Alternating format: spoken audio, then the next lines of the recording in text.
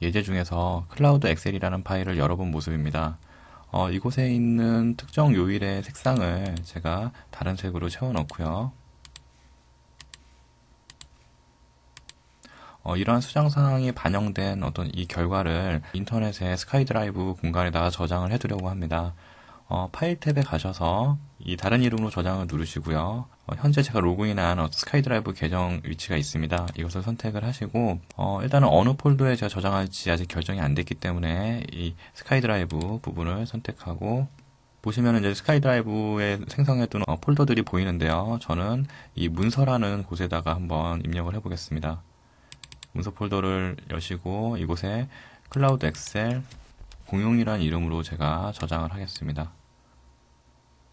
예, 저장이 되었고요. 여러분 PC의 스카이드라이브 폴더에 가보시면은 이미 지금 제가 했던 어, 파일들이 어, 동기화되고 있는 것을 확인할 수가 있고요. 아직 엑셀에서 이 프로그램이 작업 중인 상태이기 때문에 동기화가 완료가 되지 않고 있습니다. 그래서 지금 현재 작업이 종료가 된 것이므로 이 파일에 닫기를 눌러서 이 파일은 일단 닫겠습니다. 네, 그러면 금방 동기화가 완료가 되죠. 네, 동기화가 종료가 된 뒤에 제가 스카이드라이브 공간을 한번 확인을 해보겠습니다. 이 스카이드라이브를 눌러서 한번 동기화를 한번 하고요. 예, 결국 문서라는 폴더 안에 하나의 파일이 생성이 되었다고 확인이 되고 있고요. 예, 그 부분을 선택해서 들어가 보시면 예, 클라우드 엑셀 공용이 저장이 되어 있는 것을 확인할 수가 있습니다. 이 부분을 바로 더블 클릭을 해보시면 이렇게 엑셀 웹 앱이 실행이 돼서 어, 인터넷상에서 이 문서를 편집할 수 있는 어떤 그런 상태가 되는데요. 어, 이것을 다른 장소에서 열었을 때 좀 더 마음에 들지 않는 부분이 있었다면 어, 그러한 부분들을 개선해 나가는데 어, 아무런 문제가 없습니다. 그래서 이곳에서 여러분이 원하는 어떤 색으로 교체한다거나 어, 이곳에 추가적으로 색상 채우기가 있어야 된다면 이 부분을 또 어, 색상을 채워 넣으시고요. 어, 이러한 부분도 한 번에 드래그를 해서 원하는 글꼴 색 그 다음에 원하는 채우기 색을 어, 바로 반영을 할 수가 있고요. 글꼴의 크기 역시도 여러분이 원하시는 어떤 내용으로 수정이 가능합니다. 어, 이 리본 메뉴 때문에 이 작업하는 공간이 너무 작다면 리본 메뉴 숨기기를 눌러서 어, 이 작업 공간을 조금 넓힌 상태에서 작업을 해 나갈 수도 있고요. 어, 현재 변경된 이러한 사항들은 어, 따로 저장을 하지 않아도 자동으로 그 변경 사항들이 자동 저장이 됩니다. 근데 만약에 다른 이름으로 하나 더 만들어 놓고 싶다 그러면 그때는 이 다른 이름으로 저장을 눌러서 어, 여러분이 그 원하는 이름으로 저장을 해둘 수가 있겠죠. 예, 아니면 다운로드를 눌러서 스카이드라이브가 동기화되어 있지 않은 PC에서 사용 중일 때는 어, 이 해당 파일을 다운로드를 받을 수도 있을 겁니다. 어, 일단은 메뉴 닫기를 누르시고요.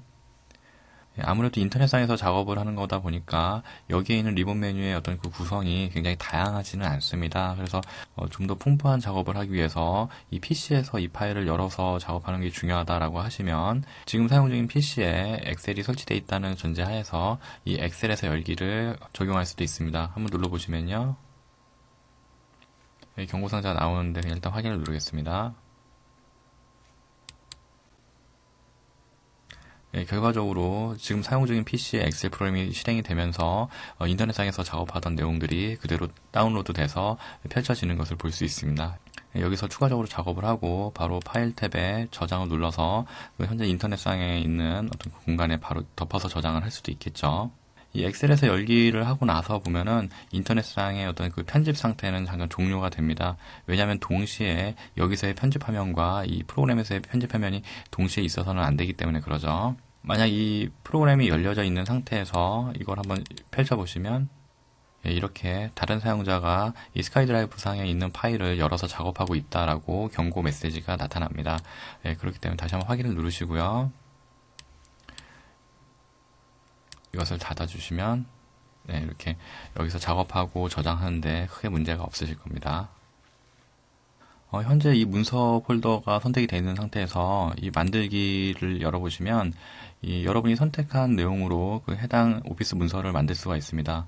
어, 일단 엑셀 통합 문서를 한번 선택을 해보시면요. 어, 새로 생성되는 문서의 이름을 정할 수가 있는데요. 이렇게 새롬이라는 이름으로 이 XLSX 어, 파일을 한번 만들어 보겠습니다. 이렇게 간단한 서식을 작성할 수 있는 엑셀 웹 화면이 나타나고요. 이곳에 원하는 내용을 입력을 해서 저장을 해둘 수가 있습니다. 한번 입력을 해보면요. 이렇게 데이터를 입력을 하고 셀의 너비를 조정을 하시고요.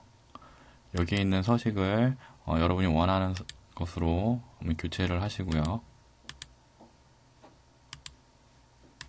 네, 간단한 서식 작성이 완료가 되었다면 파일 탭에 끝내기를 눌러보겠습니다. 예, 다시 스카이드라이브 공간으로 가보면 이 새롬이라는 파일이 생성이 된 것을 볼 수 있고요. 이 PC에 설치된 스카이드라이브 그 동기화 폴더 안에도 지금 문서 안에 보시면 새롬이라는 문서가 생성이 된 것을 볼 수가 있습니다.